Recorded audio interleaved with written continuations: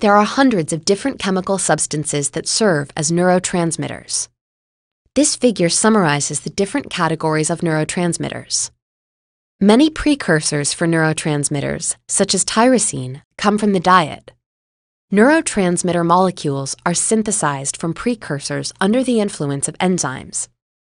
Precursors are substances that can be chemically altered to become neurotransmitters. For example, the protein in chicken or turkey contains the amino acid tyrosine. When we eat chicken or turkey, the protein is broken down into its constituent amino acids, and these amino acids can be converted into neurotransmitters. This figure summarizes the steps involved in the synthesis of the neurotransmitters dopamine and norepinephrine.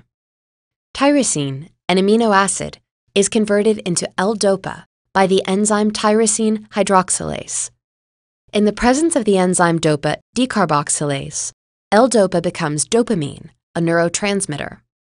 The enzyme dopamine beta hydroxylase converts dopamine into norepinephrine, another neurotransmitter.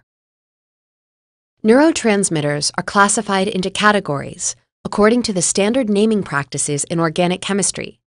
Dopamine, DA, norepinephrine, NE, and serotonin, 5-HT, are all known as monoamine transmitters. The portion of the chemical formula colored red is known as an amine group in organic chemistry. Each of the transmitters contains one red or amine group, hence the name monoamines. Both dopamine and norepinephrine include one blue or catechol group. Dopamine and norepinephrine are known as catecholamines. Serotonin is an indoleamine.